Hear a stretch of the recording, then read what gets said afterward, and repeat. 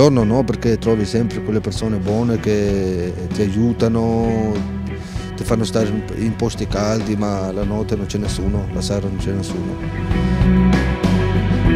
Quante sono le persone che vivono in strada della nostra città? Un dato preciso sulle persone che sono in strada non l'abbiamo. Noi come unità di strada in un anno contattiamo più di 500 persone. Si sente un po' solitudine, un po' abbandonato diciamo. Ecco. E cerchi di stare il più a contatto possibile con la gente, perché sennò diventa, diventa tragica. Chi sono queste persone? L'80% sono maschi intanto, sono quasi tutte in età lavorativa, perciò fra i 35 e i 55 anni. Prevalentemente in questi ultimi anni sono stranieri, ora gli italiani sono un 30%, il resto sono quasi tutti stranieri perso il lavoro, che hanno avuto separazioni, tutta una serie diciamo, di, di, di, traumi sociali, familiari, relazionali, alcuni anche incidenti fisici che hanno condizionato appunto il, il percorso lavorativo. Senza lavoro come senza padre, senza mamma e tante persone così.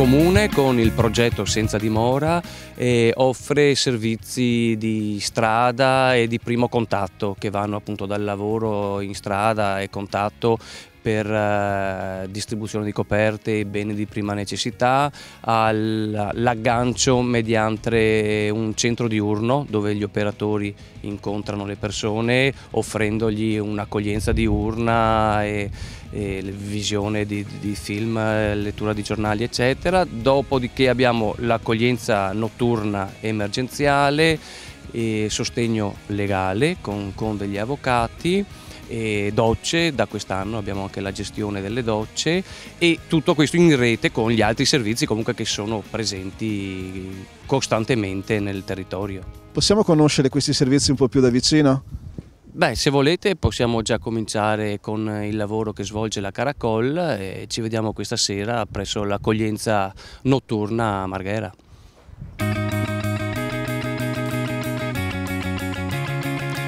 Inizia poco prima delle 19 la lunga notte degli operatori della cooperativa Caracol. Quando con Dario arriviamo nella sede di via Fratelli Bandiera, all'interno del centro di accoglienza, Vittoria è già ai fornelli, intenta preparare il caffè ed il tè che verranno poi distribuiti ai senza dimora. Mano a mano arrivano anche i suoi colleghi che si occupano di un'altra importante operazione, rifare i letti e preparare le stanze che accoglieranno i 24 fortunati che potranno questa notte dormire sotto un tetto. Solo 24 posti a fronte di richieste ogni sera più del doppio maggiori. Scegliere chi sì e chi no, ci confidano i ragazzi, è ogni volta un compito non facile e spesso doloroso. Arriva intanto anche il presidente e boss della Caracol Momo, ovvero Davide Mozzato, con lui diamo un'occhiata al magazzino preoccupantemente vuoto, almeno per quanto riguarda il reparto coperte. I 300 capi raccolti tra i cittadini, dapprima nel centro di Mestre, poi al Palaplip, tra gli anziani del progetto Ociociò e infine a Venezia, più i circa 150 donati da due alberghi sono stati ormai quasi tutti consegnati. Noi siamo arrivati a un picco di quasi 80 persone sulla stazione di Mestre, con 24 posti letto, qui che sta fuori, capisci? Eh usando molta parsimonia, che ne va via anche a 10 al giorno nei periodi 10-15, nei periodi qui di ghiaccio. Una breve riunione operativa e poi per i ragazzi della Caracol è già tempo di prepararsi, indossando la sgargiante divisa da lavoro e caricando in furgone i generi alimentari che saranno distribuiti. Allora 8.30 stiamo per partire, cosa avete preparato? Allora, come ogni sera prepariamo due termos di caffè, due termos di tè per mestre e un termos di tè, uno di caffè per invece l'equipe, il, il gruppo che va a Venezia. Poi portiamo fuori anche delle merendine e dei fazzoletti di carta che vengono distribuiti alle persone che incontriamo. La prima tappa serale del furgone della Caracol è come sempre Venezia. La modalità è diversa da quella della terraferma perché da una parte Venezia ha meno persone senza dimora perché è una città più difficile da vivere per i senza dimora, mentre a Mestre eh, partiremo con i primi due viaggi che porteremo a dormire le persone che secondo noi necessitano di passare la notte al caldo perché magari hanno patologie o stagionali o bronchiti oppure sono anziani. L'ultimo viaggio invece somministreremo le bevande calde, le merendine, i vari generi di prima necessità e da là attraverso un confronto che facciamo tra operatori in questi primi due viaggi scegliamo chi portare e magari dando la turnazione alle persone. Un veloce saluto agli operatori che questa notte lavoreranno in centro storico ed il furgone della Caracol è già pronto a ripercorrere velocemente a ritroso il Ponte della Libertà per puntare alla stazione di Mestre.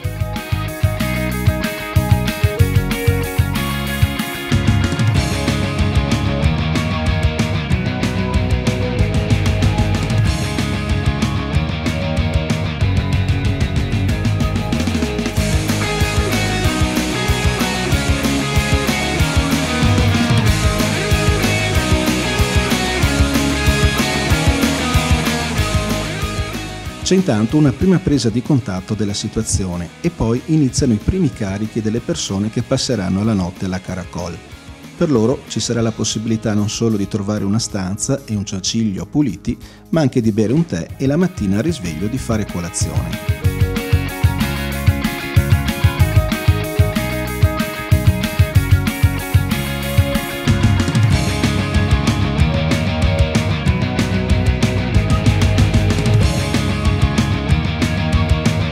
È giovedì, una notte speciale ci spiega Dario per chi non ha un alloggio.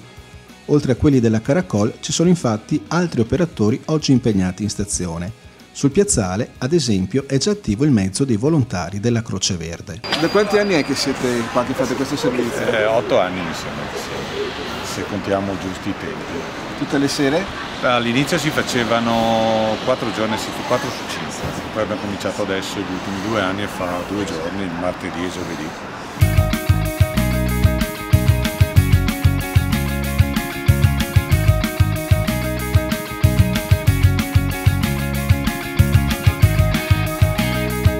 Sono tanti i pazienti? Beh, quando veniamo qui ci sarà una media di 5-6 pazienti, ce ne sono alcuni di storici, diciamo, che conosciamo, che vengono, che eh, ormai si è installato anche un buon rapporto, ce ne sono altri saltuari che vengono ogni tanto. Quali sono i tipi di intervento che vi richiedono? Ma la patologia più frequente purtroppo spesso sono le odontalgie, mal di denti, se no stagionali per cui d'inverno ci sono più raffreddori, influenze, d'estate magari eh, cose più banali legate al sudore, alla sudorazione, problemi di funghi cutanei, cose del genere.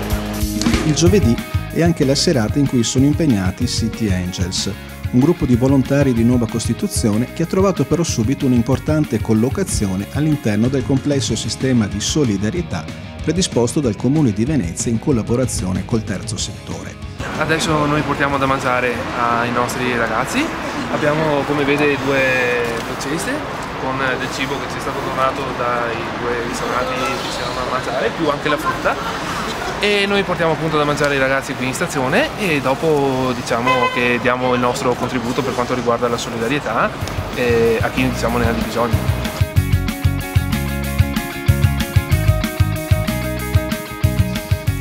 City Angels sono subito attorniati dagli abitanti notturni della stazione. Il cibo viene presto distribuito.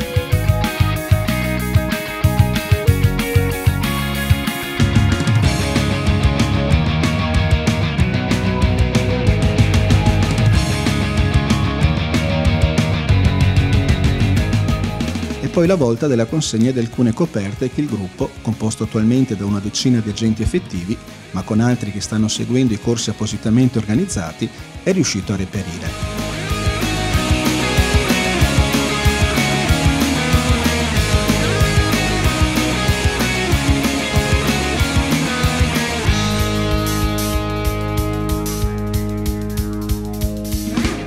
Sono intanto tornati per l'ultimo giro gli operatori della Caracol.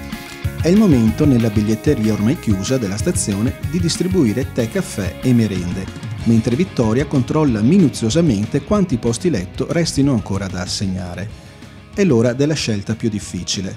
Per fortuna questa sera la temperatura è mite e quindi per chi dovrà affrontare la notte all'aperto ci saranno meno sofferenze.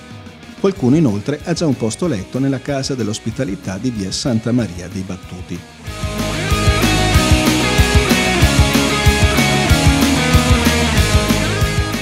Furgone, con l'ultimo carico di passeggeri, è al completo e punta verso Marghera, dove sono nel frattempo già rientrati gli operatori che hanno lavorato a Venezia in compagnia dei senza dimora del centro storico che potranno dormire questa notte al centro di accoglienza della Caracol.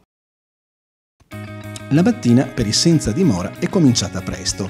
La sveglia verso le 7, la colazione offerta dalla Caracol e poi via, in strada, per una vita sempre uguale ed insieme ogni giorno imprevedibile. Il mercoledì mattina ed il venerdì pomeriggio c'è per molti una opportunità unica e importante, quella di poter fare una doccia al drop-in di Via Trento. In due ore, ci raccontano gli operatori, sono circa una ventina le persone che riescono a lavarsi. Di più non si può stare aperti, scarseggiano le risorse ed è stata pure sospesa la possibilità, un tempo concessa ai senza dimora, di poter adoperare la lavatrice per lavare i propri indumenti. Altro appuntamento molto gettonato dai senza dimora è quello offerto il martedì ed il venerdì mattina dal centro diurno gestito in via Querini dalla cooperativa Gea.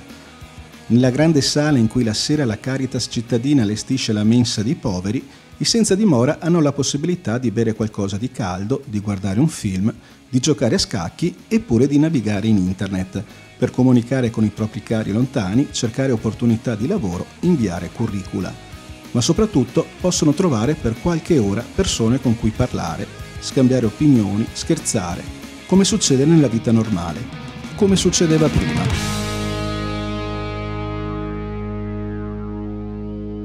E poi di nuovo in strada, in attesa del pranzo alla mensa di cappuccini, e poi ancora fuori tutto il pomeriggio sino alla cena, ancora qui a Caletizia.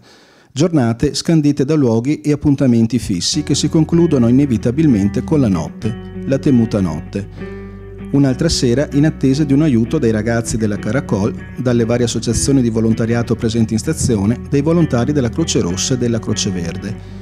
Togliere da situazioni di disagio che possono diventare situazioni a rischio eh, le persone, aiutarle a loro a vivere con dignità la propria esistenza e dare anche un'opportunità di pensarsi in una dimensione diversa in un futuro appunto diverso è l'elemento vero per dare sicurezze, per dare sicurezze ai cittadini che vivono tra virgolette di riflesso eh, il problema, che qualche volta può dare fastidio, ma soprattutto di dare sicurezze a queste persone, che ripeto sono uomini e donne, persone in carne ed ossa, con le loro difficoltà, i loro problemi, le proprie storie, insomma, ma anche credo con l'opportunità dovuta di, di, di guardare ad un futuro che rischia tante volte di non esserci.